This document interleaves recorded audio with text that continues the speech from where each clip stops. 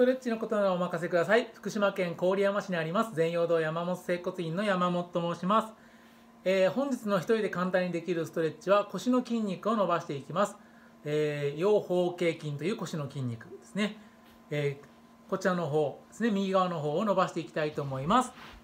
まずあぐらをかきます。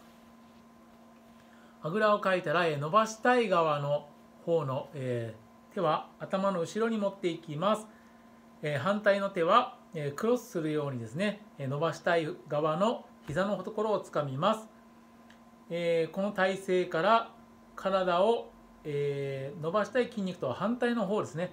斜め前に倒していきます。そうするとこちらの腰方形筋が伸びていきます。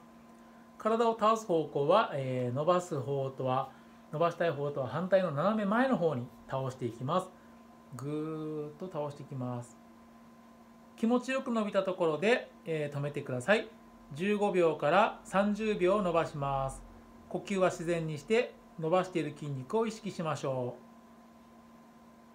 はい戻します。